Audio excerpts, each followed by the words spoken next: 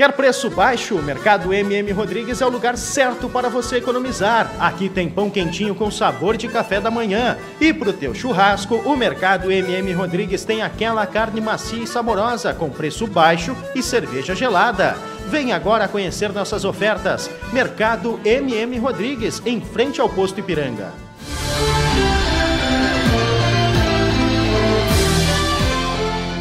Prefeito Silvio Rafael está em viagem à capital federal para lutar por benefícios ao município de Tapes. Segundo o prefeito, as visitas dessa quinta-feira, 24 de novembro, foram produtivas. O prefeito disse ter passado pelo gabinete da senadora Ana Amélia Lemos e do senador Paulo Paim para confirmar emendas destinadas à área da saúde, que, segundo o prefeito, só devem virar realidade em fevereiro de 2017.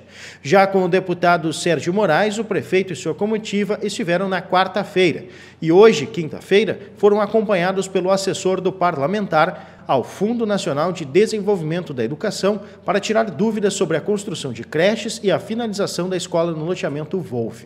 Ainda na quarta-feira, o prefeito esteve na Câmara Setorial do Arroz e buscou apoio na luta contra o projeto 5473 de 2016 do deputado Luiz Gaguin, que isenta áreas de reflorestamento do Imposto Territorial Rural, o ITR.